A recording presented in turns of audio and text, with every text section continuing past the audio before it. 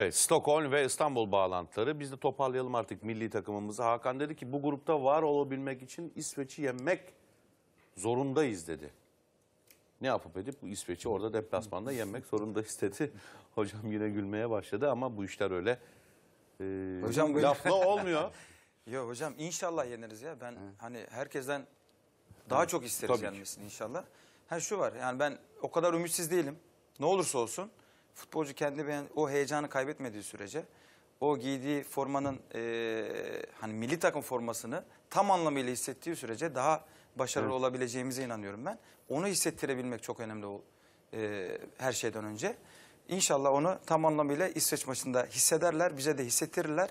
Ben eee, kesinlikle yine de çok umutsuz değilim yani. Ya inşallah şimdi İsveç'in nasıl oynadığını hepimiz biliyoruz. Sen de çok güzel izah ettin birkaç cümleyle. Bu aslında milli takımımız için bir avantaj. Evet bize ters gelen yönleri var. Genelde hepsi fizikliler, ikili mücadelelerde çok iyiler. Hava toplarında çok üstünler bize karşı. Ama bireysel beceri olarak, yaratıcılık olarak biz onlardan kesinlikle daha e, teknik, daha becerili bir takımız. İşte belki de sonucu direkt etkileyecek konu şu. İsveç bir takım oyunu oynuyor. Her ne kadar çok özel futbolcular olmasa bile ki Dünya Kupası'nda bence e, en önemli futbolcularından biri Tayvan'ındı. E, Üç gol atmıştı. Bildiğim kadarıyla bir tek o kadroda yok. Dünya Kupası kadrosundan.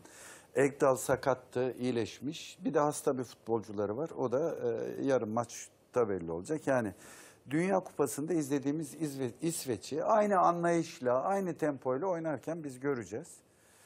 Ee, biz takım oyunu oynayabilecek miyiz? Bütün soru orada. Yani ben gerçekten onu görmek istiyorum. Dedin ya defansta şunları şunları Evet yapalım. Duran toplar bizim için çok önemli. Yani adamların en önemli e, gol silahları tamamıyla duran toplar, taşlar dahil olmak üzere. Ve belirli bir temponun altına da kesinlikle düşmüyorlar. Ee, bizim hem tempo hem de e, takım anlayışı olarak birlikteliğimiz bize bir nebze de olsun iyi bir şans doğurur. Ee, ama tepki vermemiz gereken bir maç o kesin. Bir de son bir şey daha söyleyeyim. Şimdi e, Barcelona'da hocam kim var? Messi var, Suarez var, Coutinho var. Bir sürü futbolcu sayabiliriz işte Dembele'si şusu. Daha öncesinden Neymar. Üç atsalar dört, şey üç yeseler dört atacak bir Evet. kadroya sahipler. E bizim öyle bir kadromuz olmuyor. Bizde bir Suarez bir Messi'miz olmadığı için. Şimdi üç yesek bunun altı, iki yesen on altından kalkacak bir pozisyonumuz yok. O yüzden ilk başta yemememiz gerekiyor. Öyle düşünüyorum ben. O yüzden defansı çok sağlam alıp ondan sonra e, ilerleyen dakikalara 90 dakikaya doğru e, gol yemeden devam edebilirsek e, bu maçtan e, iyi bir sonuç bekliyorum aslında ama çok ciddi bir rakiple karşı karşıyayız. Yine de dediğim gibi futbolcu o formanın hakkını hem hissettirmeli hem hissetmeli.